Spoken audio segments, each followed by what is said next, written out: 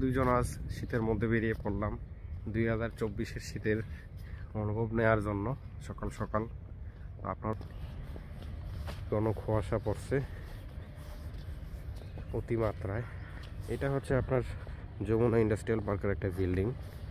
তার পাশেই বিভিন্ন শাক সবজির ক্ষেত, লাল শাক, আলু ক্ষেত। অনেক সুন্দর, কিন্তু কুয়াশা কিন্তু ভালোই পড়ছে। এবার শীতে এটা প্রথম দফার কুয়াশা। এই দেখেন, লাল শাকের ক্ষেত। এইটা হলো আমাদের লোকাল ভাষায় রামাইশ বলে। আমি জানি না আসলে। বরবটি হ্যাঁ বরবটি আর একটা নাম আছে। আর ওই দেখা যাইতেছে বেগুন ক্ষেত। বেগুন গাছ। এই জায়গায় আরেকটা আলু ক্ষেত।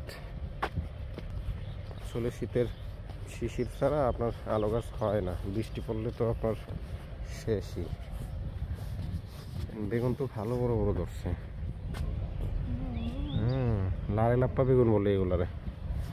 এই দেখেন, এখানে আরেকটা লাল শাকের ক্ষেত। আমরা একটু এই দেখেন, এইদিকে যাইতেছি। আপনার, এইটা আসলে অ্যাডভেঞ্চার টাইপের বলা যায়। জঙ্গল জঙ্গল ভাব। আর এই জায়গাটা আপনার, আমাদের পুরাতন খেলার মাঠ ছিল, তো সামহাও ইয়ে করে ফেলছে।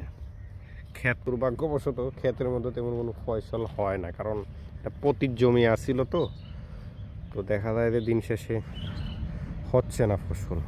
তো সাধারণত এভাবেই পড়ে থাকে পতির জমি হিসেবে। আর আপনার এই আমাদের এই খেলার মাঠের পাশেই আসছিল এই একটা বিশাল পুকুর মানে আমরা অ্যাকচুয়ালি এটাকে তারাদাম বলি।